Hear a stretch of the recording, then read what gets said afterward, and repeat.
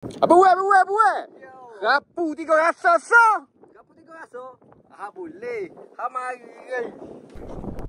Okey, uh, tadi ikan ni.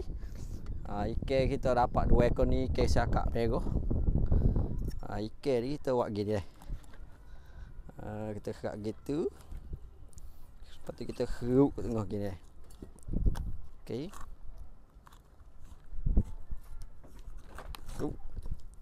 Okey, kes kapu ni sama juga. Kita kena cair dia. Okey.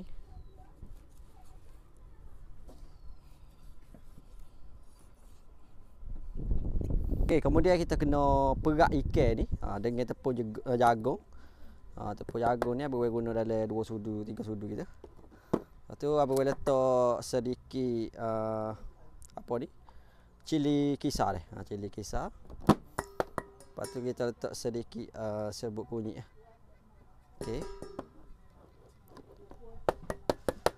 Okey, lepas tu kita abang perasa ke dia dengan chicken stock. Ha, chicken stock. Ha, lepas tu abang letak sikit uh, garam dia. Okey. Kemudian kita letak masuk ke air. Okey, air sikit. Okey, kemudian kita kacau dia sepati.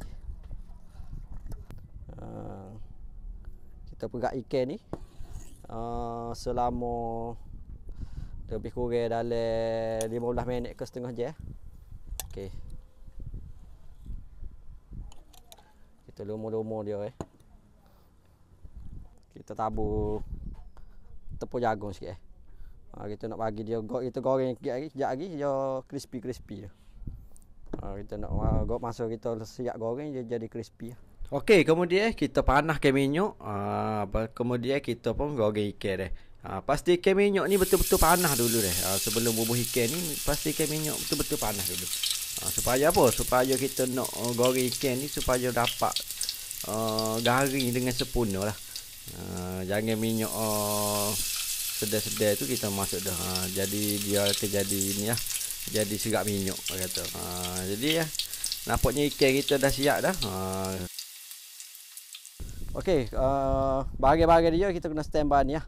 Bawang besar, halia, bawang putih, uh, cili padi kita uh, cicah halus gini. Lepas tu ada buah nenah.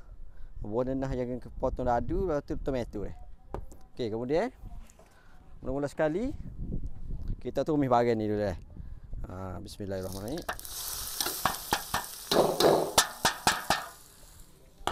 Okey, kita tumis.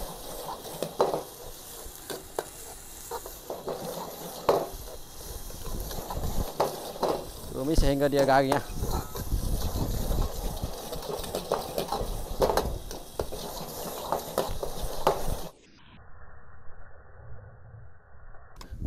Okey, kemudian uh, apa we tumis sedikit uh, cili bu eh. Uh, satu sudu cili bu.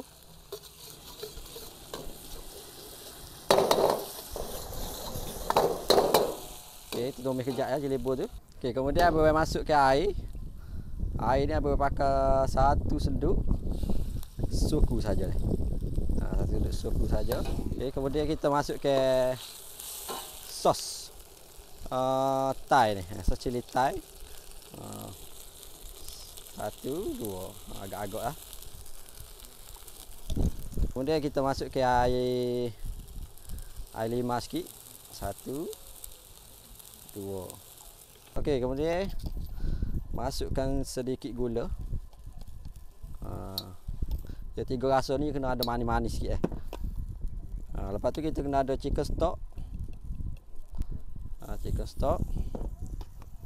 Uh, sedikit MSG lepas tu sedikit garam uh.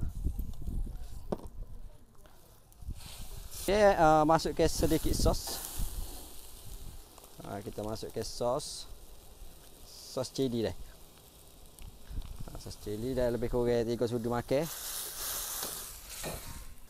Okay, kemudian kita masuk ke sos tiram Ha, sos tiram ni.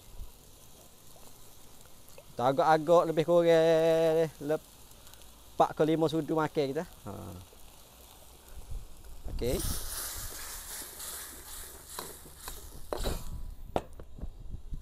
Kemudian last kali kita masuk ke uh, denah dengan tomato tadi.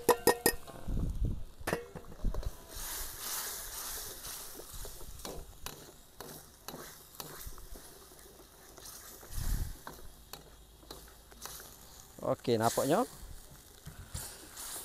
kuah masuk merah kita, tiga eh kuah masuk tiga rasa kita. Siap. Okey, apabila masuk ni, uh, kita pun acak puak buatan ni. Uh, tiga rasa.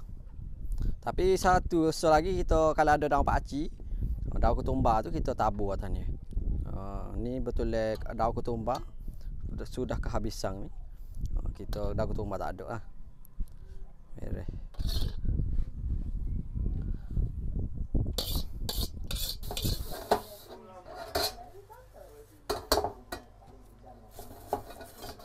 Okey untuk mengetahui semua uh, video kali ni Abu berada di rumah rakit Delisha dia. Ha sini kalau kita nak mari mancing uh, nak mari santai-santai dengan family uh, sangat-sangat sesuai lah. Lokasi dia di Semerak deh. Semerak. Okey, itu saja untuk video kali ni. Semoga bermanfaat. Ha mari.